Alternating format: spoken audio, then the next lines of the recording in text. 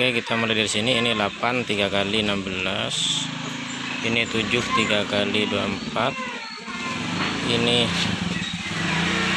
oke ini 10 jadi tanggal 19 kemarin ini sisa 14 namun sayang videonya kena hapus.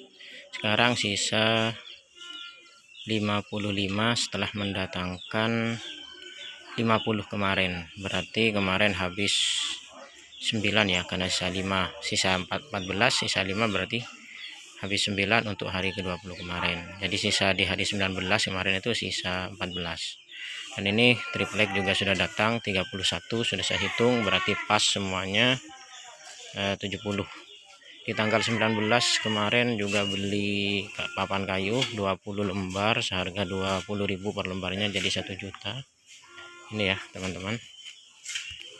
Untuk sisa bahan lainnya ini.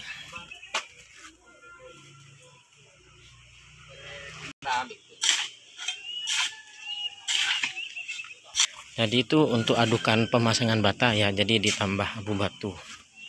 Dan ini juga beli kayu ternyata kayu ini didapat potongan 250 karena ada sebagian kayu yang tidak sama.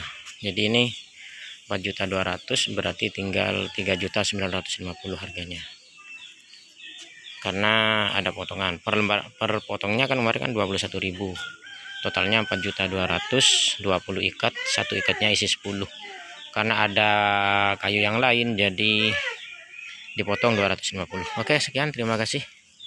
Assalamualaikum warahmatullahi wabarakatuh